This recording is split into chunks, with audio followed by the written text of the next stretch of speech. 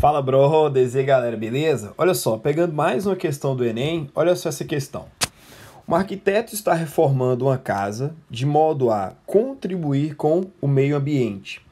Decide reaproveitar tábuas de madeira retiradas da casa. Ele dispõe de 40 tábuas de 540 centímetros, 30 de 810 centímetros e 10 de 1080 centímetros, beleza? Todas de mesma largura e espessura. Ele pediu ao carpinteiro que cortasse as tábuas em pedaços de mesmo comprimento, sem deixar sobras, e de modo que as novas peças ficassem com o maior tamanho possível, mas de comprimento menor que 2 metros. Beleza. Atendendo ao pedido do arquiteto, o carpinteiro deverá produzir. Vamos lá.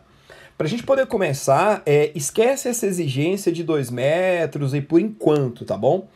Esquecendo essa exigência, se repararmos no restante, aí no caso da questão, é uma questão que tem uns comandos que eu sempre, sempre, sempre comento com os meus alunos, que é o seguinte: eu tenho mais de um item, eu quero dividi-los em partes iguais, sem deixar sobra, e o grande detalhe, brother, cada parte com o maior tamanho possível. Esse é o tipo de problema clássico de máximo divisor comum. Eu tenho mais de um item, quero dividir em partes iguais, sem sobra, né? E cada parte com o maior tamanho possível. Isso é o máximo divisor comum. Aí você fala, beleza, eu consigo captar a ideia na hora que a questão é de máximo divisor comum, né? Que é o MDC, MDC, máximo divisor comum. Aí você, ah, beleza, eu vou lá, faço o máximo divisor comum. Só que aí, tipo, eu travo na questão, né? Pô, fiz o MDC, mas e aí? O que, que o MDC significa, brother? Sempre em uma questão, o MDC vai ser aquilo que for indicado para ser o maior. Pegando essa sacada que muitos não comentam, você mata na hora. Então, ó, o MDC vai ser o que for, o que for indicado, indicado para ser o maior, para ser o maior. Então, o que está sendo indicado para ser o maior? Cada pedacinho, não é? Olha só, quero cortar em partes né, de mesmo comprimento, sem sobras e de modo que cada peça tenha o maior tamanho possível.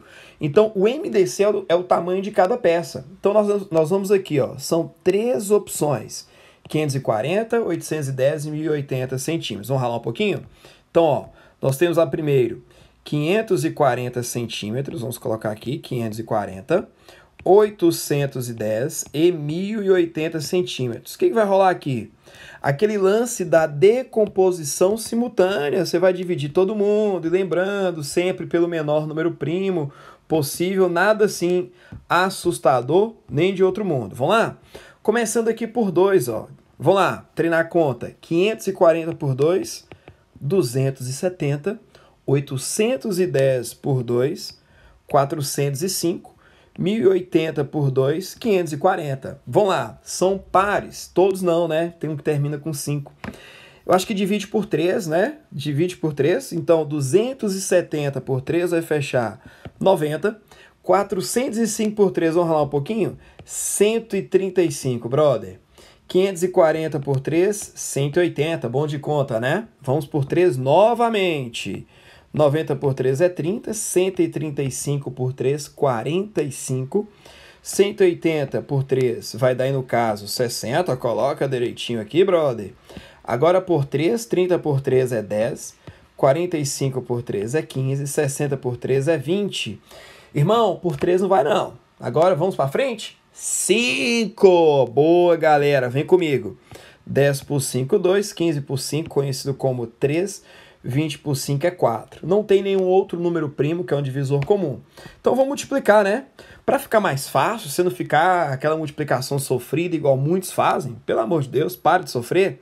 Vem comigo aqui, ó. Eu, vou, eu gosto de multiplicar primeiro 2 por 5, que já dá 10. Aí vem, ó, 3 vezes 3, 9, vezes 3, 27, vezes 10, 270 centímetros. Só que olha o probleminha. 270 centímetros são 2,7 metros. Cada pedaço ele tem que ser menor que 2 metros. Caramba! Então, galera, olha as pegadinhas da vida. Então, nesse caso, não vai ser o MDC. vai ser o segundo maior divisor que nós vamos ter. Eu vou para o próximo divisor.